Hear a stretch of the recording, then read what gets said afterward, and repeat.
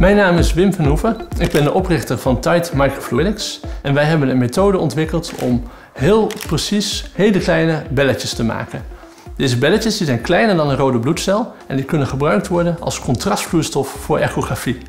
Onze machine werkt met een lab on a chip. Een heel klein apparaatje waarmee je op een heel gecontroleerde manier belletjes kunt maken. We hebben hier een vloeistof en we hebben hier een gas. En het gas en de vloeistof komt samen in de lab on a chip. Daar worden de belletjes in gevormd en die stromen via dit slangetje naar een spuitje. Het probleem waar de bestaande echografie tegenaan loopt, is dat bij het in beeld brengen van bepaalde organen het beeld niet helder genoeg is. In die gevallen moet een arts grijpen naar andere technieken, bijvoorbeeld een dure MRI of gevaarlijke röntgenstraling. Onze innovatie heeft de meeste impact voor kleine kinderen. Kleine kinderen die liggen natuurlijk nooit stil, dus het maken van een MRI of een röntgenscan is vaak heel problematisch. Huidige contrastvloeistoffen zijn altijd hetzelfde. Met onze innovatie kunnen we bij de patiënt aan het bed een optimale contrastvloeistof maken.